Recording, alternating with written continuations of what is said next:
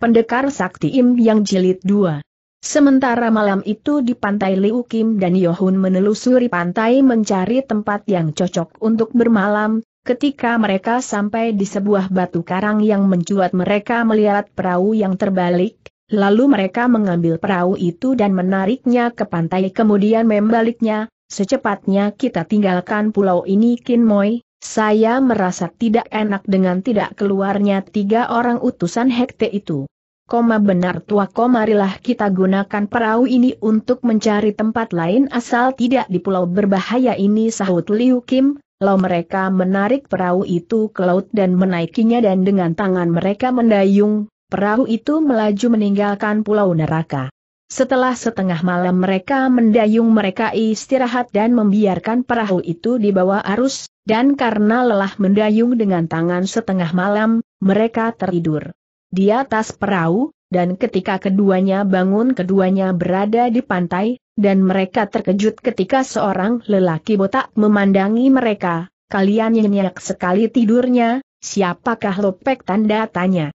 Tanya Liu Kim, aku seorang nelayan dan sedang mencari ikan, aku melihat perahu kalian terombang ambing mengarah pusaran maut, jadi aku tarik ke pantai, Terima kasih tanda tanya dan nama Lopek. Siapakah koma? Apa itu nama tanda tanya. Tanya orang itu heran, Liu Kim dan Yohun saling pandang heran. Kalian ini dari mana tanda tanya dan kenapa bisa sampai ke sini koma kami dari daratan besar dan kami hendak ke pulau Escep Malang. Kami diterpa badai sahut Ye Uhun. Lopek sendiri apakah penghuni pulau ini? Koma tanya Yohun bukan, saya hanya nelayan yang sampai ke pulau kecil ini, saya dari pulau nelayan tak jauh dari sini, marilah singgah ke pulau kami ajak lelaki gundul itu, lalu mereka pun mendayung perahu dan alangkah terkejutnya Yuhun dan Lui Kim, ketika mereka hendak mendayung, tiba. Tiba perahu mereka melejit laksana anak panah lepas dari busurnya ditarik perahu orang gundul yang mengaku dari pulau nelayan dan hanya dua kali kayu mereka sudah sampai ke sebuah tebing yang banyak talu bergelantungan. Lelaki gundul itu melompat dari kapal dan menangkap tali dan luar biasa seperti cecak merayap cepat ke atas, Yohun dan Liu Qin melongo mendengak ke tas, lelaki gundul itu melihat ke bawah, heh, kenapa kalian belum naik? Titik ayok naiklah serunya dari atas. Yohun dan Liu Kim melompat dan menangkap tali kemudian berusaha naik merayap ke atas, lelaki gundul itu heran, lalu dia menarik kedua tali di mana keduanya bergantungan perahu yang mereka dan sekali betot, tubuh mereka melenting ke atas. Koma keduanya berpoksai untuk menurunkan daya luncuran dan kemudian mereka mendarat dengan ringan, lalu mereka berjalan ke tengah pulau, dan sesampai di perkampungan nelayan, Yohon dan Liu Kim makin heran dengan kumpulan orang aneh itu, semua laki-lakinya botak dengan memakai cawat sementara perempuan menutupi tunuh mereka dengan kulit kayu atau kulit binatang. Mereka disambut ramah oleh semua orang aneh itu, mereka ini kumpulan orang aneh yang tidak punya nama dan terbelakang dan lelaki botak adalah ciri khas mereka, dan yang tidak kalah uniknya semua mereka memiliki gerakan yang kuat dan cepat seakan gerakan itu bawaan lahir, karena anak-anak mereka juga demikian cekatan dan kuat, dan rahasia luar biasa ini membetik niat Yohun dan Liu Kim untuk lebih jauh mengenal kumpulan orang-orang gundul yang bukan Heusio ini. Lopek, kami melihat kumpulan nelayan ini memiliki gerakan luar biasa, Tentunya kumpulan nelayan ini adalah orang-orang sakti lagi berilmu tinggi selayuhun, kami memiliki tempat keramat yang kami datangi setiap hari dan melihat-lihat gambar yang ada di sana dan itu yang kami tiru sejak turun-temurun sahut lelaki itu, Lopel siapakah pimpinan dari kumpulan kalian di sini? tanda tanya. Tanya Liu Kim, pimpinan koma kami tidak punya. Pimpinan dan kami tidak perlu pimpinan sahutnya, Liu Kim dan Yohun saling pandang, bolehkah kami ke tempat keramat itu untuk melihat-lihat tanda tanya-tanya Yohun penuh harap, tidak, tidak boleh, kalian di sini hanya tamu dan bukan penghuni pulau sahut lelaki itu tegas. Tegambar wajah kecewa di wajah Liu Kim dan Yohun, Lopek, di tempat kami banyak terjadi kejahatan dan kami harus menundukkannya dengan ilmu yang lebih tinggi, untuk itu kami berusaha mencari pulau es namun gagal, dan kami melihat hal luar biasa di sini, sekiranya diperkenankan kami ingin mempelajari ilmu yang dipelajari oleh para nelayan di sini kata Liu Kim dengan nada membujuk, apa itu kejahatan? Tanda tanya-tanya lelaki itu membuat keduanya melonggo, kejahatan itu adalah adalah tindakan orang untuk merugikan oleh orang lain sahut Yohun, kenapa orang mau berbuat seperti itu tanda tanya. Yohun dan Liu Kim saling pandang. Karena manusia di tempat kami itu rakus dan ingin menaf sendiri sehingga mereka berbuat jahat sahut Yohun berusaha menjelaskan, lalu keadaan hening, bagaimana Lopek dapatkah kami mempelajari apa yang dipelajari oleh para nelayan di tempat keramat koma tidak boleh. Lelaki itu menjawab dengan tegas, wajah keduanya sangat sedih dan kecewa, lelaki itu melihat wajah keduanya yang tertunduk dengan muka sedih dan tidak berkata apa-apa, Yohun kembali menatap wajah lelaki gundul itu dan berkata, Lopek dapatkah? Kami mempelajari gerakan Lopek sendiri tanda tanya. Lelaki itu terdiam dan memandang dua orang yang menatapnya penuh harap itu. HMH, bisa tapi kalian tidak boleh tinggal di sini, baik, kami akan tinggal di pulau di mana Lopek menemukan kami dan tentunya Lopek setiap hari mencari ikan, bukan tanda tanya selalu Kim, benar, aku akan selalu singgah di pulau itu, aku tidak dapat mengajarkan tap hanya dapat memberi contoh sahut lelaki itu. Koma demikian pun sudah membuat kami senang Lopek Selayuhun, setelah dua hari Yohun dan Liu Qin meninggalkan pulau nelayan dan kembali ke pulau di mana mereka bertemu dengan lelaki gundul itu, dan sejak itu Yohun dan Liu Kim didatangi lelaki gundul dan mencontohkan gerakan-gerakan silat pada mereka, dan dengan penuh perhatian keduanya mencontoh gerakan-gerakan yang mereka lihat. Di sebuah pulau lain di sekitar dua tiga jasad lain baru siuman setelah diombang-ambing laut dan melemparkannya ke tepi pantai namun satu dari jasad itu sudah mati, yang dua siuman. Koma mereka Cukeng Nin dan KH Ubun Sin sementara yang tewas adalah nenek tua Sim Hang Lin, keduanya lalu menguburkan perempuan tua itu dan kemudian memasuki hutan untuk mencari makanan, Selama tiga jam mereka menjelajah hutan akhirnya mereka menemukan ular besar, berwarna kuning, ular besar itu pun ditangkap lalu mereka panggang untuk mengganjal perut yang lapar. Dari manakah asal Toti yang tanda tanya? Tanya Chu Keng Nin, saya dari Bengsan Lohap, dan Lohap sendiri dari manakah tanda tanya? Koma saya dari Luliang San apakah rencana Toti yang dengan keadaan kita ini tanda tanya? Koma saya akan membuat rakit untuk kembali ke daratan besar sahut Bursin, ide yang bagus dan saya juga akan membantu Totiang untuk membuat rakit sehingga kita dapat keluar dari sini Cukeng Ing mengangguk membenarkan ide dari Bursin. Dua hari kemudian saat mereka mencari-cari kayu yang tepat untuk membuat rakit mereka menemukan goa, lalu keduanya menemukan gambar-gambar orang bersilat di dinding goa, mereka terus menelusuri dan akhirnya mereka menemukan sebuah nama yang bertuliskan Ou Sian Kok. Ou Sian Kok adalah putra Tochu dari Pulau Neraka yang sezaman dengan Hon Tiong Suhu dari Bukek Sian Su, keduanya saling berpandangan, gerakan-gerakan silat dalam gambar ini luar biasa unik dan rumit selacu Kengnin, menurut saya juga demikian, Mungkin kita tidak berjodoh dengan Pulau Es dan kita berjodoh Ong Sian Kok sahut KH Ubun Sin. Benar tanda seru sebaiknya kita pelajari dulu sambil mempersiapkan rakit kata. Cukeng Nin, lalu mereka tinggal di dalam goa untuk mempelajari jurus-jurus yang tergambar di dinding menurut dasar ilmu mereka masing-masing. Sementara enam buah pulau dari tempat itu dua buah jasad juga terdampar namun seorang dari jasad itu sudah gembung, jasad yang mati adalah Tosu Siap sementara yang masih hidup adalah Tio Ken. Menguburkan jasad Tosu itu dan memasuki hutan untuk mencari makanan, satu jam kemudian Tio Ken mendapat seekor ular besar, Tio Ken menangkap ular dan memangganya, setelah kenyang ia kembali menjelajahi pulau lebih ke dalam dan menemukan sebuah goa yang banyak juga terdapat gambar-gambar orang bersilat di dinding gua. Dengan teliti Tio Ken memperhatikan gambar demi gambar dan di satu sudut tertera nama Butek Lojin, Butek Lojin adalah tokoh legendaris dari zaman lima wangsa seangkatan dengan Kiamo Taisu, seorang tokoh Kate yang bersikap angin-anginan dan membawa maunya sendiri, tokoh yang tidak memiliki pendirian. Kuma wajah Tio Ken berseri-seri, dengan semangat menyala-nyala Tio Ken mempelajari jurus-jurus yang terlukis di dinding gua. Di daratan besar tepatnya di Yuguan sedang diadakan pertemuan besar antara sesame Hekte, ini merupakan pertemuan pertama setelah Pasim Sajin membagi-bagi pemegang komando kepada rekan-rekannya, sebenarnya pertemuan itu bukan pertemuan umum, hanya pestanya saja yang berlaku umum, setelah pesta diadakan tiga hari tiga malam, Pasim Sajin mengejak sembilan rekannya untuk mengadakan pertemuan tertutup.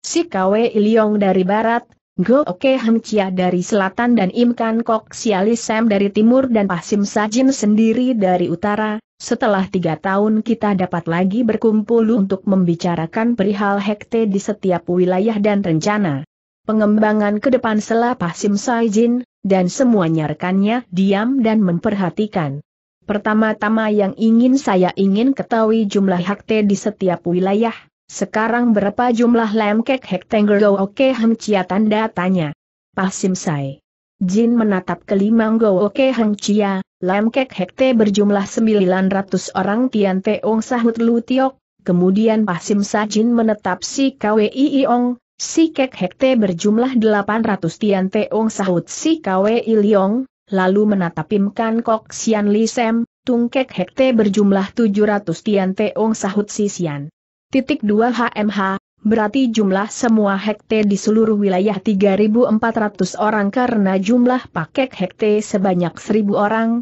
dan yang kedua, apa kalian juga mengutus murid ke Pulau Es setahun yang lalu? Koma benar Tian Teong jawab si KW Iliong, kami juga, kami juga jawab Go Oke Hang Chia dan Dan Im Kan Kok Sialis Sam hampir berbarengan, Lalu bagaimana hasilnya? Koma sampai hari tiga utusan yang kutunjuk tidak kembali sahut sisian, utusan kami juga demikian sahut rekan yang lain serempak. HMH, artinya semua utusan kita tidak kembali, dan itu artinya misi ke Pulau Es gagal sahut Pasim Saijin, lalu apa rencana dari Tian Teong? Tanda tanya-tanya Lu Tiok, begini, saya ingin di setiap wilayah kalian semua mengambil seorang murid khusus untuk kalian warisakan ilmu yang ada pada kalian dan sembilan orang itu akan kita adakan pibu tiga tahun mendatang, kami akan lakukan Tian Teong jawab mereka serempak, bagus dan besok kita akan adakan pibu sepuluh orang terkuat dari masing-masing wilayah,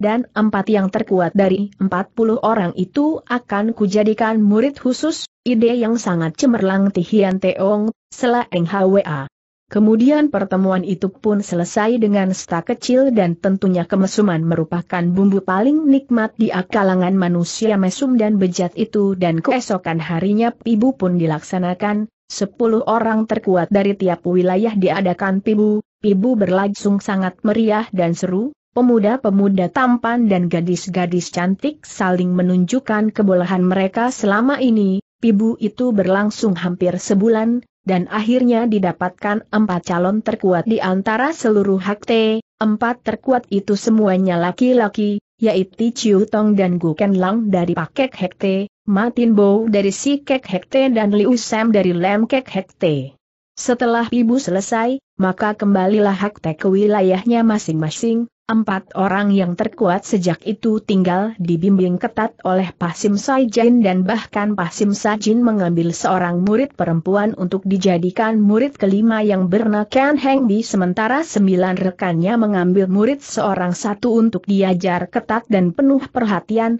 Luar biasa memang Kerb berpikir Pasim Saijin untuk membina dan membentuk kekuatannya, metode membuat penjahat yang diprakarsai dengan mengambil generasi muda, dan generasi muda yang masih labil dan rasa ingin tahu besar serta rasa ingin mencoba yang kuat diarahkan pada nilai-nilai kehidupan menyimpang dan mengarahkan pada kemesuman. Generasi yang merupakan pagar kekuatan masa sekarang dan corak harapan terbaik masa depan telah diracuni oleh Pasim Saijan pemuda-pemudanya diracuni pertimbangannya sehingga cenderung pada pelampisan nafus yang tidak kenal batas. Sementara pemudinya diracuni rasa malunya sehingga cenderung memanfaatkan daya tariknya yang memang luar biasa untuk menundukkan lawan jenisnya, asusila menjadi kebanggaan, Menonjolkan diri merupakan kebiasaan melepaskan segala keinginan merupakan keharusan. Memprihatinkan memang generasi yang terbentuk pada tangan orang seperti Pasim Saijin, nilai kemanusiaan hilang, harga diri terhempas berkecai remuk, potensi hati yang dimiliki hanya untuk meraih senang, menang, dan kenyang, potensi pikir hanya untuk melakukan sesuatu yang licik, picik dan jijik dan sementara jiwa hanya untuk menonjolkan penyangkalan, penistaan dan pembodohan diri, inilah bentuk dan warna pembinaan Pasim Saijin dalam hekte di setiap wilayah, tentunya pola ini akan membumi hanguskan sendi-sendi kemanusiaan dan jika dilihat dari latar belakang Pasim Sajin sendiri dia seorang manusia yang lahir tanpa identitas jelas dan lingkungannya yang dikelilingi hal yang memabukkan mada tarak dan kemesuman dan juga ia sepi dari bimbingan rohani dan kasih sayang dan terlebih semuanya itu ditopang oleh kekuatan luar biasa untuk mewujudkan kecenderungan yang membentuknya sehingga tersalur tanpa hambatan dan tanpa kendali dan ironisnya itu menjadi prinsip hidup yang dia paksakan pada setiap orang dan hal itu sedang tumbuh dan berkembang dalam pengayomannya. Tiga tahun kemudian pertemuan kedua pun diadakan, setelah pesta pertemuan sehari semalam maka pibu pun dilakukan, semua murid di lapangan yang sudah didirikan panggung dikerumuni atusias oleh murid-murid, selama tiga hari pibu itu baru selesai dan hasilnya sangat membanggakan. Sepuluh murid itu memperlihatkan kebolehan yang sangat luar biasa dan rata-rata mereka imbang, hanya memang harus ada yang terkuat dan itu dipegang oleh Ken Heng Bi murid kelima dari Pasim Sai Jain dari sepuluh orang itu enam orang laki-laki dan dan empat orang perempuan setelah pibu sepuluh murid maka pibu antara empat murid utama Pasim Sai Jain pun ditampilkan. Semua yang menonton tercengang memandang tidak berkedip akan kegesitan dan kekuatan yang diperagakan empat murid, dan oleh Pasim Sajin memberikan nama pada empat orang murid utamanya dengan sebutan Tian Temosi, empat setan jagat, sementara untuk ke sepuluh murid gabungan mereka dijuluki Capi KWI, sepuluh lengan iblis, dan urutan tingkatan hekte pun telah disusun yakni Tian Teong Pasim Sajin sendiri,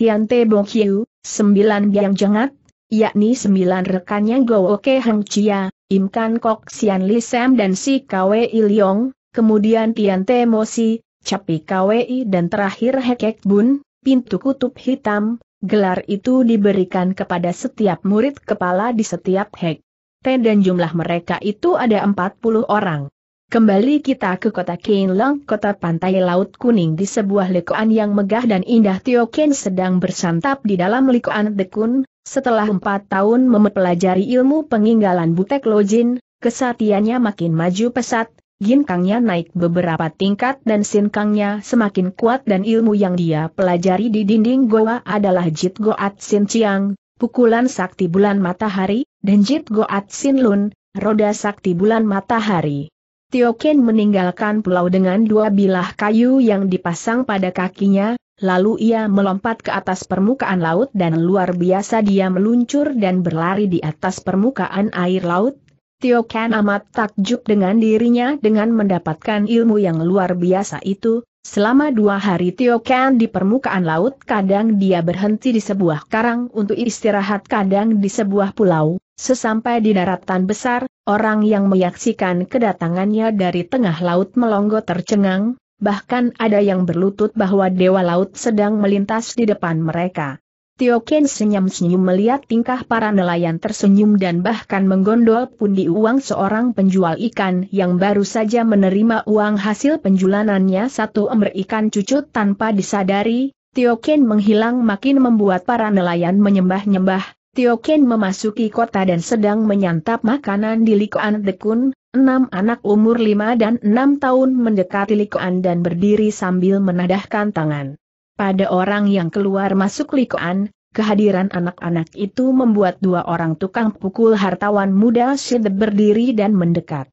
Heh kalian anak-anak malas, sana enyah dari sini, kasihanilah kami paman. Sudah dua hari ini kami tidak makan. Suara seorang anak memelas membujuk, lah kok membantah, mau ku tampar ya hah, mau ditampar? sahut tukang pukul sambil mengangkat tangannya yang kuat dan kekar. Koma anak-anak itu menjauh tapi masih di sekitar likoan, tukang pukul yang tadi mengancam melangkah mendekati enam pengemis cilik itu, dan kontan saja keenamnya lari tunggang langgang. Kedua tukang pukul itu tertawa melihat enam pengemis cilik yang tunggang langgang tapi heg, keduanya tersedak karena menelan benda keras, Mulut mereka berdarah ternyata dua gigi depan mereka ambrol dan menghantam tenggorokan dan tertelan. Namun tersangkut kontan keduanya berusaha memuntahkan dengan mencolok tenggorokan dan muntahlah keduanya berkali-kali hingga isi perutnya kosong, muntahan keduanya bercampur darah karena gusi yang berdarah.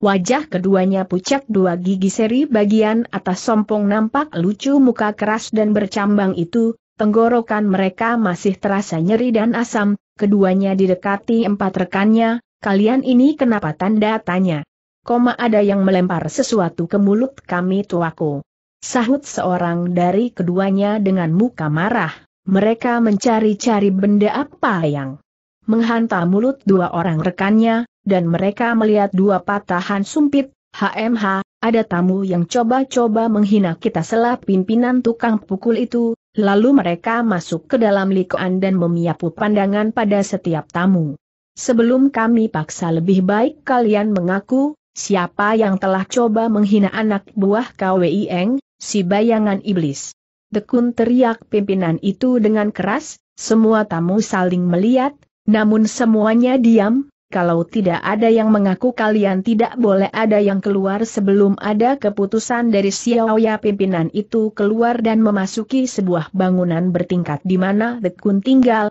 tidak lama kemudian Dekun muncul dengan wajah bengis. Siapa yang telah menghina anak buahku cepat mengaku sebelum kalian semua aku sembelih. Dekun membentak dengan muka merah menatap tajam pada semua tamu yang tunduk dengan wajah pucat, tiba-tiba. Tio Ken berkata, aneh sekali Kongcu, anak buahmu terluka di luar kok mencari pelakunya di dalam sini Dekun dan enam anak buahnya memandang Tio Ken yang bersikap cuek dan kembali memandang anak buahnya, Xiaoya, kamu mencari pelaku di dalam karena yang menghantam gigi dari kedua rekan ini adalah patahan sumpit pimpinan tukang pukul membela diri. Dekun melihat sumpit Tio Ken, dan Tio Ken malah menggoyang-goyang sumpitnya sambil senyum-senyum, dua sumpit bekas pakai itu pendek, naik darah dekun dan segera menyerang Tio Ken namun yang diserang hilang dari kursi, sehingga pukulan dekun menghancurkan kursi dan malah melemparkan meja ke arah kilas bayangan yang liat, berak, meja yang melayang itu menghantam seorang anak buahnya dan untunya disambut dengan pukulan hingga hancur. Tio Ken peringas-peringis melangkah keluar, Dekun menerjang cepat namun luput, Tio Ken sudah jauh mencelat ke halaman likoan, Dekun tidak mau sudah terus merangsak dengan amarah memuncak, Tio Ken tiba-tiba bergerak membalas dengan ilmu yang dipelajarinya di Arnapurna, dalam seratus jurus Dekun terlempar dengan perut melilit karena dicium tendangan Tikan dan membuat Dekun muntah-muntah bahkan terakhir memuntahkan darah dan Dekun pingsan, Enam anak buahnya datang menyerbu namun dalam tiga gebrakan Tio Ken sudah merobohkan mereka dengan luka patah tulang dan remuk. Orang-orang di pasar gempar melihat kejadian itu di mana Dekun sebagai murid kepala Pak Kek Hekte dan dalam hierarki kepengurusan Hekte dia itu termasuk Hekek Bun dan hari itu hartawan muda yang merasa memiliki dunia kena batunya, dia tergeletak pingsan ditonton orang banyak sementara Tio Ken sudah melenggang meninggalkan tempat itu,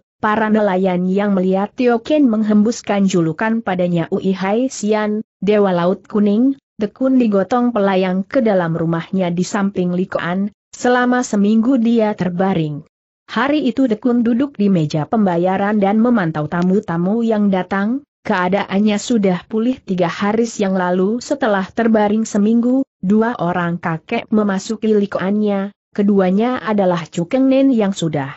berumur 64 dan KH Ubun Sin 54, selama empat tahun mereka mempelajari jurus yang dilukis oleh Ong San Kok, anak ketua Pulau Neraka generasi kedua buangan dari Pulau Es dan ilmu yang mereka pelajari Te Yang Sin Chiang, pukulan sakti inti bumi, dan Jit Yang Kiam, pedang inti matahari, setelah tamat keduanya berlutut di depan mulut Tau Suhu saya Chu Nin dan Sute KH Ubun Sin akan meninggalkan pulau, kiranya apa yang kami pelajari dapat berguna bagi banyak orang. Dengan hikmat Chu Nin menghadirkan Ou San Kok Suhu mereka disertai KH Ubun Sin yang juga berlutut di sampingnya. Lalu keduanya menarik rakit yang sudah dua tahun selesai dan juga sudah dipergunakan selama ini untuk menangkap ikan di laut untuk makanan mereka, keduanya naik ke atas rakit dan menatap lama pada pulau di mana sudah empat tahun mereka diami, kita berangkat sekarang Insu Heng tanda tanya.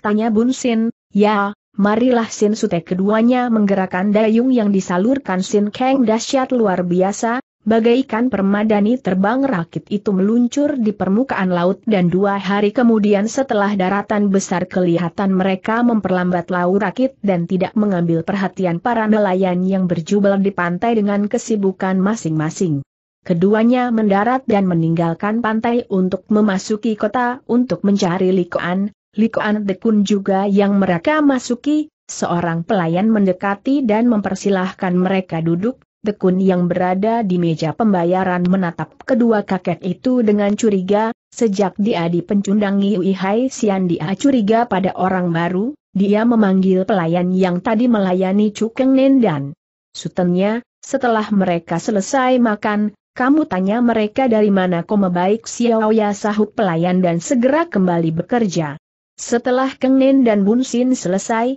pelayan mendekati keduanya, Lepek, kalian ini dari manakah nada pertanyaan yang curiga itu demikian kentara, Bun Sin menatap pelayan itu dengan tatapan heran tapi dijawab juga, saya dari Bengsan dan Suheng saya ini dari Luliangsan, lalu apa urusan kalian datang ke kota Lang ini koma pelayan, mau tahu urusan orang ada apakah tanda tanya. Bun Sin balik bertanya, Xiao ya kami penting untuk mengetahui urusan setiap tamu di Lang ini karena kota ini di bawah kendalinya sahut pelayan. Koma apakah Xiao mu juga Kung Chu Lang? Koma tidak tapi Xiao Ya adalah murid kepala dari Pakek Hekte dan oleh PS Hasim Sajin memberikan kota ini di bawah kendalinya, lalu di manakah tuanmu itu sekarang si pelayan salah duga dikiranya pertanyaan itu karena jerih, itu di meja pembayaran, jadi kalian jangan macam-macam kalau mau selamat pelayan itu mengeloyor pergi.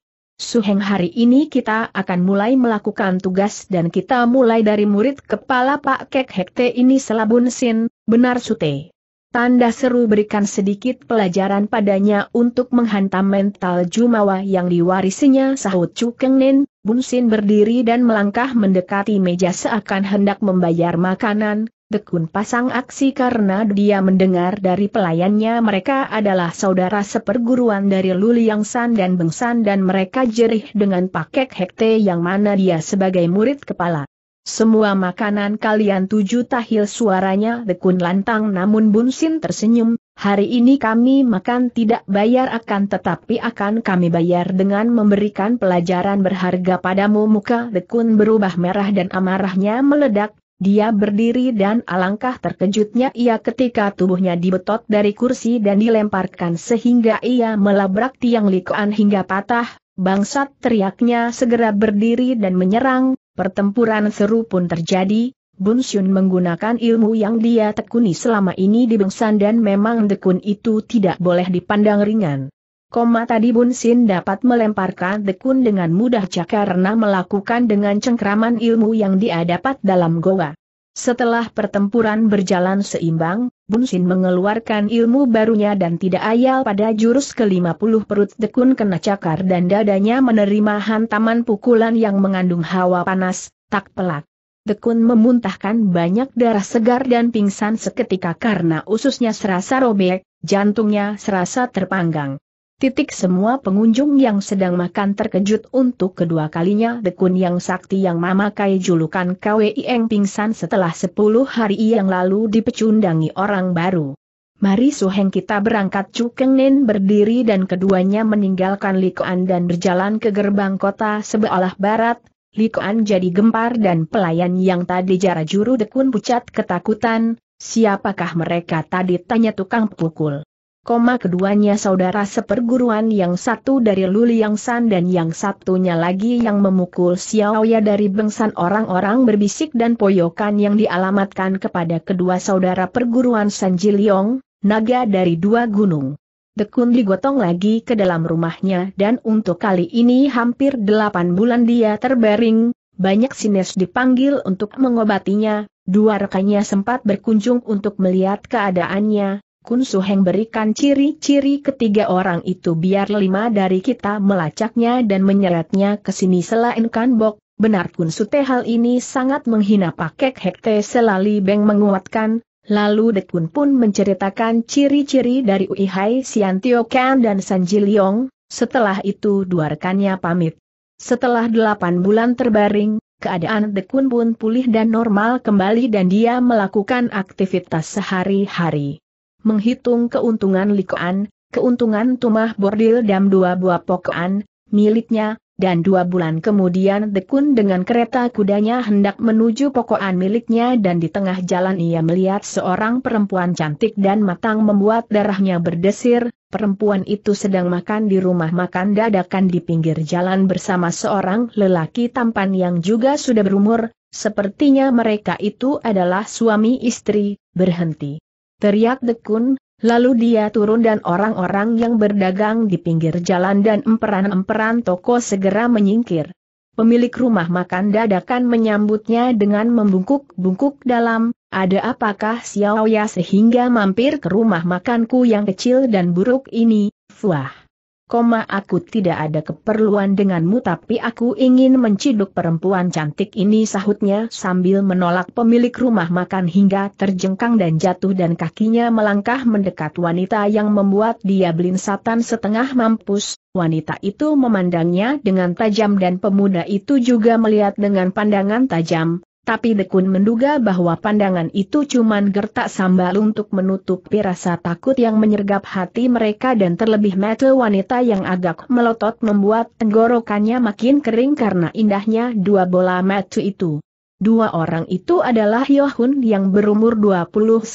dan Siang Kean Lui Kim berumur 25 tahun, keduanya berada di sebuah pulau yang berdekatan dengan Pulau Nelayan, mereka setiap hari bertemu dengan lelaki gundul dari Pulau Nelayan dan mencontohkan gerakan-gerakan silat, dan gerakan-gerakan itu mereka contoh lalu mereka latih terus-menerus, hal itu mereka lakukan sampai lima tahun dan lelaki gundul dari Pulau Nelayan setiap hari singgah walaupun hanya sekedar melihat keduanya berlatih. Pada tahun kedua setelah mereka berlatih ilmu yang sudah selesai mereka matangkan keduanya duduk di tepi pantai untuk melepas lelah, wajah cantik Liu Kim semakin berbinar setelah melihat kenyataan betapa luar biasa ilmu tangan kosong yang mereka dapatkan, getarannya pukulan mereka bagaikan sengatan halilintar dan kenyataannya memang benar bahwa ilmu itu adalah milik Buke Xiansu yang bernama Pelek Jiu, tangan halilintar, Yohun memandang wajah yang berseri itu,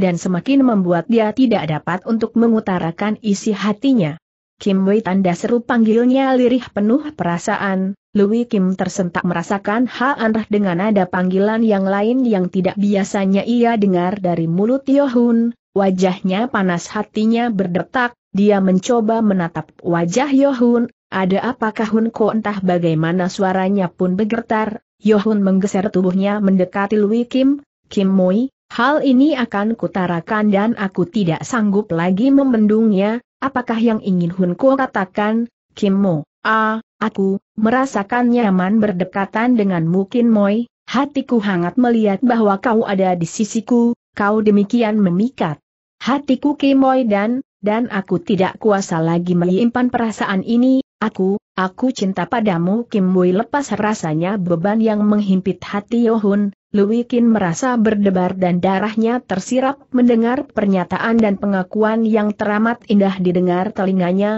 hatinya pun tiadalah beda dengan apa yang dirasakan oleh Yuhun, dan semuanya ia simpan rapat dan rapi dalam hatinya walaupun kadang tidurnya gelisah mesra jika ia melihat tubuh Yuhun yang terbaring agak jauh dari tempatnya. Dan siang itu saat kelelahan badan serasa hilang hembusan angin laut yang bergerak nakal membelai sinom rambutnya sebuah pernyataan panjang dan pengakuan betapa lelaki tampan tiada cacat yang di sampingnya menyimpan sejuta rasa padanya, lelaki yang menjadi bunga mimpinya, hal itu membuat dia tertunduk gemetar, terlebih saat jemarinya diraih tangan yang kuat dan lembut meremas jemarinya, perasaan indah menyusup dalam kalbunya, Maafkan aku Kim Mo jika pernyataanku ini menyinggung Lui Kim membuka matanya yang terlelap nikmat oleh remasan Jemayo Hun, Hun Ko koma. Cintamu bukanlah gayung tidak bersambut, pernyataan Hun Ko membuat aku terlelap,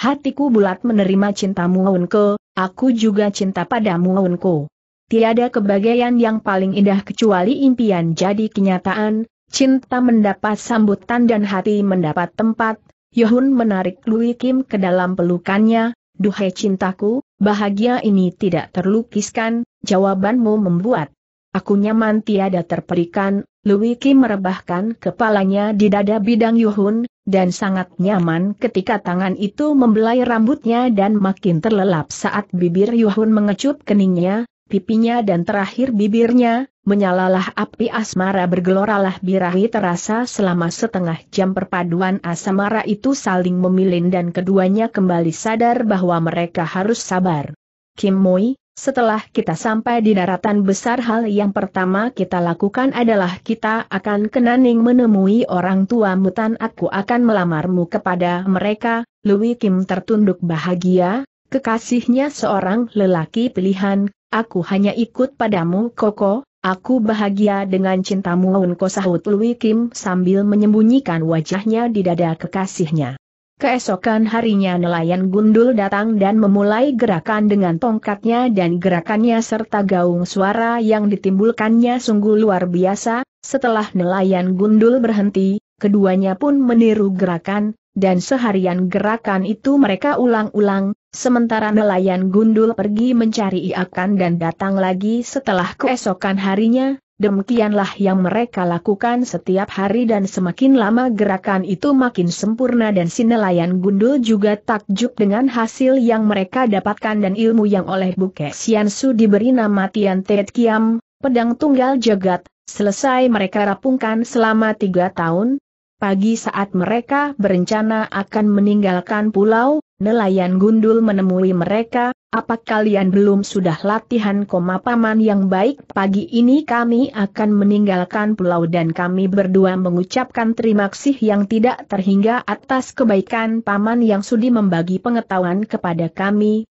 jadi kalian akan meninggalkan pulau dan kembali ke daratan besar koma benar paman dan hari ini kami mohon pamit dan minta restu dari paman, baiklah, semoga kalian selamat sampai di tujuan. Terima kasih paman. Keduanya menjatuhkan diri berlutut di hadapan nelayan gundul yang sudah agak tua dan berkeriput, apa yang kalian lakukan jangan seperti itu. Bangkitlah seru nelayan itu. Mundur dua tindak, keduanya mendongak menatap nelayan itu. Koma paman restuilah kami keduanya lalu menunduk, nelayan itu bingung dengan tingkah kedua orang yang sudah lima tahun mencontoh-contoh gerakannya, lalu dia berkata, aku tidak mengerti apa yang kalian maksud tapi baiklah aku merestui kalian sahutnya sedikit bingung, keduanya maklum bahwa nelayan ini orang aneh, terima kasih paman. Selayuhun lalu menarik tangan Lui Kim berdiri. Ya, berangkatlah sahut nelayan gundul,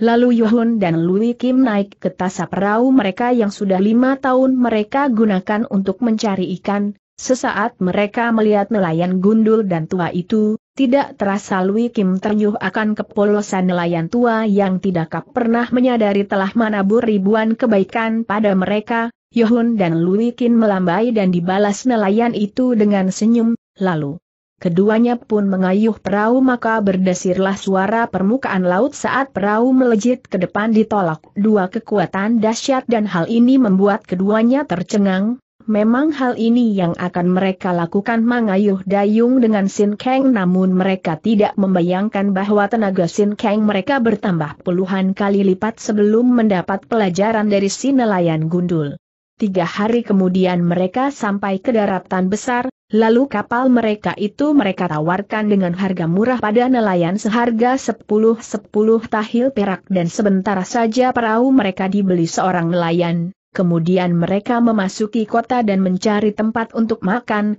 Kim Moi, kita makan di rumah makan ini saja Selayuhun dan Lui Kim mengangguk. Keduanya pun masuk dan mengambil tempat duduk sambil memesan makanan. Makanan cepat saji pun terhidang dan mereka pun makan dan baru saja selesai makan Dekun mendekati mereka dengan pandangan kurang ajar pada Lui Kim. Cantik. Aku tanggung kamu tubuhmu yang gemulai akan kuhiasi dengan perhiasan emas, dan pelat. Dekun merasa kepalanya seperti disambar petir menerima tamparan Louis Kim yang berdiri sementara dia terjengkang ke samping dengan gigi geraham lepas dari gusinya, mulutnya berdarah dan dia meludahkan giginya dengan muka berubah marah, Sebenarnya kalau Dekun tidak dihinggapi birahi yang menyentak melihat tubuh Louis Kim yang gemulai tidak semudah itu ia tertampar, dan setidaknya walaupun tertampar gerahamnya tidak akan copot dari gisinya. Anak buah Dekun berdatangan, sementara Dekun merangsak menyerang, namun gerakan tangan yang luar biasa cepat laksana kilat sudah menampar mukanya berkali-kali. Komal Wiki mendesak Dekun keluar rumah makan dan melanjutkan hajarannya pada Dekun yang terperanjat setengah matang tidak percaya bahwa mukanya jadi bulan-bulanan seperti itu orang berkerumun melihat peristiwa itu. Akhirnya setelah 20 gebrakan Dekun terhempas lagi mencium tanah pingsan karena lagi-lagi perutnya kena pukulan Wiki membuat ususnya berantakan dan tidak bisa normal lagi dan mukanya memar babak bundas. Orang yang berkerumun terheyak melihat KWI Eng pingsan dengan muka memar hijau, orang yang selamat setahun melihat peristiwa yang dialami Dekun geleng-geleng kepala akan apes dan sialnya Dekun hartawan muda dan sombong itu, tiga kali dalam kurun setahun Dekun pingsan dipecundangi orang luar, dan para nelayan yang ikut melihat peristiwa itu dan mereka pun berbisik-bisik melihat Louis Kim dan Yohun meninggalkan kota Lang dan dari mulut mereka tersebar poyokan untuk Yuhun dan Lui Kim dengan julukan Ui Hai Leong Xiang, sepasang naga laut kuning. Dekun digotong ke dalam keretanya dan dibawa pulang anak buahnya, dua minggu kemudian keadaan Dekun sampai ke telinga sembilan rekannya murid kepala dipakek hekte. Lalu mereka datang menjenguk dan mereka semakin marah, karena dua yang terdahulu mereka belum ketahui bahkan sekarang muncul lagi orang yang mereka yakin dari Laut Kuning juga dan ini ada hubungannya dengan pusaka Pulau Es lima tahun yang lalu. Sebaiknya kita laporkan kepada Tian Teong salah seorang di antara mereka, benar tentunya kalau ini ada hubungan dengan Pulau Es lima tahun yang lalu, berarti musuh kita ini bukan orang sembarangan dan sangat perlu Tian Teong. Ketahui semuanya mengangguk membenarkan, lalu sepulang dari Kainlang mereka menghadap Pasim Sajen di ruangan tengah sedang bermesraan dengan wanita-wanita yang dihusukan melayaninya, jumlah wanita itu 20 orang. Sembilan murid kepala itu meminta kepada pengawal rumah untuk menyampaikan kepada Pasim Sajen akan kedatangan melaporkan hal yang penting, lalu pengawal jaga itu masuk ke dalam dan kemudian keluar, Kata Tian Teong kalian datang sore hari mereka mengangguk dan lalu pulang, kemudian sore harinya mereka datang lagi dan diterima Pasim Saijen di ruang tengah rumahnya yang megah dan besar. Ada apa tanda tanya apa hal penting yang hendak kalian laporkan pada kutanya Pasim Saijen dengan sikap agung, lalu salah seorang dari mereka berbicara Tian Teong, setahun terakhir ini ada kejadian yang menimpa salah seorang murid kepala yakni Dekun, HMH, apa yang menimpanya tanda tanya. Setahun yang lalu dia dipecundangi seorang tua berumur 50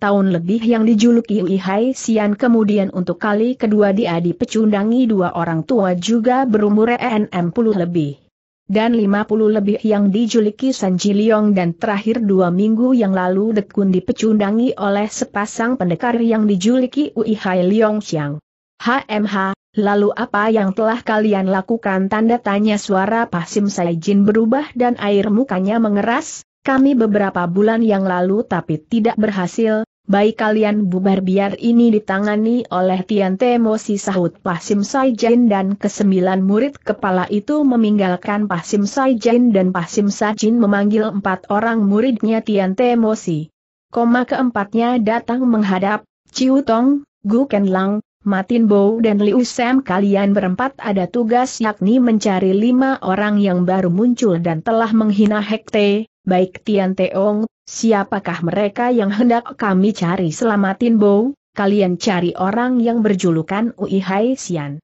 Koma San Ji dan Ui Hai Leong Xiang, baik Tian Teong jawab mereka serempak, kalian berempat bawa kepala mereka ke sini, baik Tian Teong, lalu mereka meninggalkan Tian Teong dan mempersiapkan diri. San Jiliong sedang beristirahat di sebuah hutan di sebelah utara kota Yubuan, namun saat sedang menikmati makanan tiba-tiba empat orang muncul, kedua kakek itu sedang menyantap panggang kelinci, tiba-tiba serombongan pakek hekte muncul, ini dia dua orang yang mengacau di Lang teriak seorang, mendengar itu sepuluh orang langsung mengurung. San Jiliong, Wah sepertinya cecunguk pakek hekte minta dihajar lagi insu hengkoma selabun sin. Kalau mau minta dihajar sin sute, mari kita kasih ajar sahut kengen. Keduanya lalu bergerak menyerang dengan gesit, sepuluh orang pengeroyok itu kalang kabut dan dalam empat gebrakan empat orang sudah ambruk mencium tanah, enam orang berusaha terus merangsak maju, namun lagi-lagi tubuh mereka jadi bulan-bulanan. Dua kakek yang kosen itu, Ketika empat orang tumbang, dua puluh orang muncul dan langsung menyerang Sanji Liong, dalam beberapa saat gerakan Sanji Liong tertahan, namun sepuluh jurus kemudian keroyokan itu pun mulai berantakan, dua orang terlempar kena hantam pukulan Kengnen dan menyusul dua orang kena tending Bunsin. Setelah itu susul menyusul tamparan dan pukulan Sanji Liong menghantam para pengeroyok, akhirnya enam orang melarikan diri, dan sisanya tergeletak meringis kesakitan bahkan sebagian besar tewas, Sanji Liong meninggalkan hutan memasuki kota Yuguan, di Yuguan Sanji Liong bermalam di sebuah likoan, pemiliknya adalah Shin salah satu anggota pakek Hekte, malam itu enam orang yang melarikan diri berketepatan bersembunyi di rumah Shin bernama Pou Chi pemilik likoan dan telah menceritakan keadaan mereka yang dipecundangi oleh Sanji Liong. Insu Heng sepertinya kita kedatangan tamu, selabun sin, kita lihat dulu apa maunya mereka sahut Keng Nin, lalu keduanya melompat ke atas dan duduk di atas kuda-kuda atap. Kamar dan tidak berapa lama sebuah benda berasap dijatuhkan dari atap ke dalam kamar, Sanji Liong bergerak menjebol atap dan keduanya melihat dua orang di atas atap dan terkejut melihat kemunculan mereka, Bun Sin segera bergerak menotok keduanya dan membawanya ke bawah. Cepat katakan apa maksud kalian memasukkan asap beracun ke dalam kamar bentak Bun Sin namun 40 orang sudah menegelilingi halaman bukuan di mana Sanji Liong mengancam kedua penyusup itu, serang. Teriak Info Ci pemilik Likuan, halaman luas itu jadi ajang pertempuran yang ramai, 40 orang susul menyusul menyerang dan menekan Sanji Liong, namun Sanji Liong bergerak cepat dan gesit membagi-bagi pukulan mematikan pada keroyokan tersebut. Dalam jangka satu jam 40 orang hanya tinggal 20 orang, Sanji Liong mendesak semakin hebat sehingga 10 gebrakan berikutnya 10 orang tewas dengan luka dalam yang menghanguskan organ dalam mereka akibat dari pukulan T yang sinciang dari dua kakek kosen itu, dan ketika dua orang lagi tumbang tiba-tiba empat orang muncul dan langsung menyerang Sanji Liong, keempat penyerang itu adalah Tian Temo si murid utama Pasim Saijin. Serangan mereka demikian cepat sehingga Sanji Liong terdesak mundur, namun setelah menyadari keadaan lawan Sanji Liong mengerahkan kekuatan ilmu baru mereka sehingga serangan Tian Temo si dapat diimbangi, pertempuran tingkat tinggi pun berlangsung seru dan menakjubkan Bursin melawan Chiu Tong dan Gu Ken Lang sementara Keng Ing menghadapi Matin Bo dan Li Usem, hingga 300 jurus Sanji Liong masih dapat bertahan namun ketika adu pukulan sakti terjadi untuk kesekian kalinya, Sanji Liong tertekan demikian hebat yang masing-masing membendung dua tenaga dari kedua lawan masing-masing, lalu Sanji Liong mencabut pedang dan mengeluarkan jit yang kiam. Pertempuran senjata pun dimulai, gulungan dan sinar pedang yang mengintai nyawa berpendar saling beradu dan bertemu Beng Cui In Kiam digerakkan empat pemuda gemblengan menghadapi Jit Yang Kiam yang dimainkan dua orang kakek kosen, percikan bunga api yang menyilaukan berpendar saat pedang beradu, Pertempuran luar biasa dahsyat itu telah hampir tiga jam namun Tian Temosi belum lagi dapat mendesak Sanji Liong walaupun keduanya dikeroyok empat, Jangankan terdesak bahkan mereka juga mendapat serangan Sanji Liong tidak kalah berbahayanya, keadaan itu membuat mereka marah sehingga mereka mengeluarkan ilmu pedang kedua yang diajarkan Pasim Saijin yakni Eng Loen. Kiam terdengarlah gaung yang menyesakkan nafas dan membuat sakit telinga. San Jiliong mengerahkan tenaga sakti untuk membendung suara yang membuat sesak nafas dan gerakan mereka makin diperhebat menyerang Tian Temosi, malam semakin larut dan perlawanan San Jiliong mulai melemah dan pengaruh. Gaung suara sentakan pedang membuat pertahanan keduanya kacau sehingga keduanya terdesak hebat namun di tengah keterdesakan itu dua buah bayangan muncul dan membantu San Jiliong, Tian Temosi terkejut dan undur ke belakang karena kuatnya serangan pedang yang menghantam pedang mereka. Dua orang yang baru muncul itu adalah Yohun dan Siang Kuan Lui Kim atau Ih Ai Leong Siang.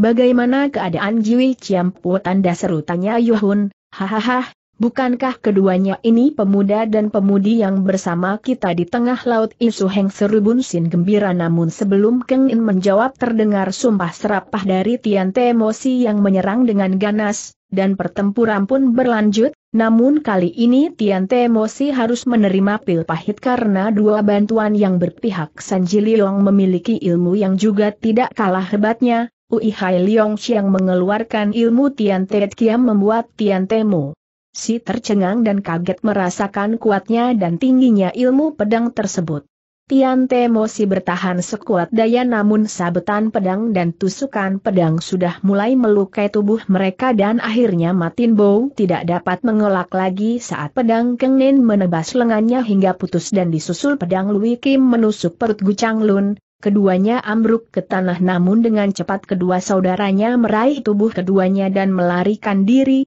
tidak usah dikejar teriak Keng. In kepada Yohun yang hendak mengejar, Yohun membatalkan niatnya. Terima kasih Jiwi Tai Hap Nin menjura, air, Ciampu sudah jamak kita saling tolong menolong sahut Yohun, hahaha, hehe, Seungguh pertemuan kita ini tiada disangka karena kita yang sama-sama di tengah laut dipermainkan amukan badai ternyata selamat dan hari kita bertemu di daratan besar Bunsin tertawa senang, kami juga tidak menyangka pertemuan ini tapi kenalkan dulu saya ini Yohun dan ini Siang Loan Lui Kim Sumo saya sahut Yohun, haha, saya adalah KH Ubunsin dan ini Suheng saya adalah Cukeng Nen sahut Bunsin. Marilah kita duduk dulu dan tidak salah kiranya kita saling menceritakan pengalaman kita selama dipisahkan amukan badai laut kuning, apa yang terjadi pada kalian anak muda yang baik. Selakengin sambil duduk, Yohun tersenyum dan dia pun ingin sekali tahu apa yang dialami dua ciampu ini, sambil juga duduk Yohun menjawab, Jiwi ciampu kami selamat dari amukan badai. Demikian juga tiga orang hekte, kami berlima sampai di sebuah pulau yang namanya kami tidak tahu. Namun ketika kami masuk ke hutan bantak sekali ular belang di dalamnya, lalu bagaimana? Hunji tanya Bunsin,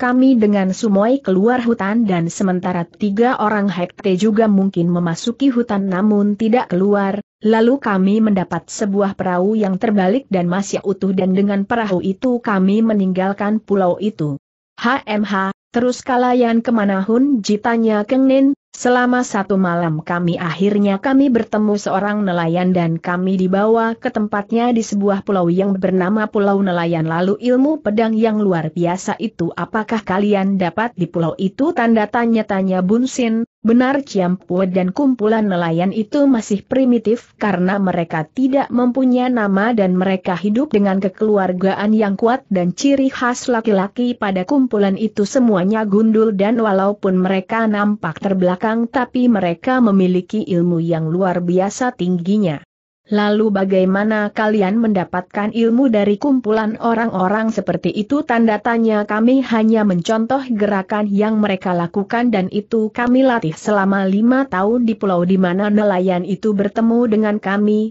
artinya kalian tidak tinggal bersama kumpulan itu selabun sin, benar Ciampua, dan nelayan yang bertemu dengan kami itulah yang mencontohkan gerakan-gerakan itu sahut Yohun. Lalu Jiwi Ciampu bagaimana bisa selamat dan apa yang dialami? Tanda tanya. Tanya Lui Kim, Bun Sin tersenyum memandang Lui Kim lalu menjawab, kami juga selamat dan terdampar di sebuah pulau yang namanya juga kami tidak tahu, kami yang terdampar. Ke pulau itu tiga orang, saya, Suheng dan nenek tua dari Teluk Poh Ai itu, namun nenek tua itu sudah tewas. Lui Kim dan Yohun mendengarkan dengan antusias, Lalu bagaimana selanjutnya Ciampu tanda tanya-tanya Lui Kim, kami memasuki hutan itu berencana mau membuat rakit dan meninggalkan pulau. Namun ternyata di pulau itu kami menemukan sebuah goa yang banyak lukisan-lukisan orang bersilat, nah sejak itu kami pelajarilah gerakan dari gambar-gambar itu selama empat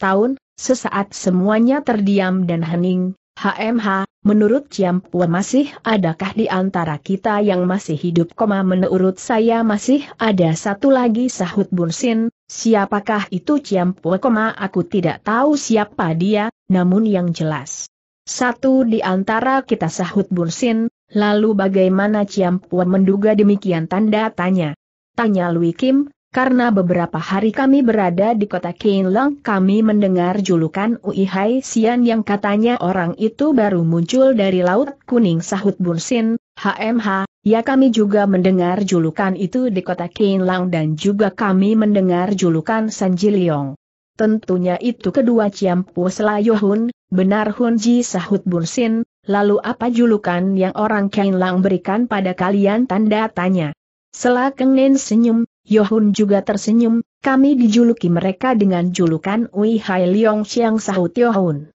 HMH, julukan yang indah dan gagah selabun Sin, Yohun dan Lui Kim tersenyum, lalu ke manakah tujuan kalian Hunji tanda tanya. Tanya Keng Nin, Ciampua, pertama-tama kami harus kembali ke barat tepatnya ke tempat Sumoy Dinaning kedua kakek itu saling pandang lalu tersenyum, Apakah sepasang naga akan menikah? Tanda tanya selakeng in tersenyum penuh selidik, Yohun tersenyum sementara Lui Kin merasa panas mukanya karena jengah dengan tepatnya perkataan Keng Nin, benar Cian PWS sahut Yohun, lalu kedua kakek itu melipat tangan dan berkata, sambil tersenyum girang, Kiong Hi, Kiong Hi kami turut senang mendengarnya Kim Ji, Hun Ji. Ucapan selamat itu diterima dengan senyum oleh Yuhun dan Soang Koan Lui Kim, lalu pagi itu mereka meninggalkan kota Yuguan dan berpisah karena Oh Leong Sian ingin segera sampai ke kota Naning di wilayah barat. Sementara perjalanan Sanji Leong hanya menurutkan kaki ke mana pergi.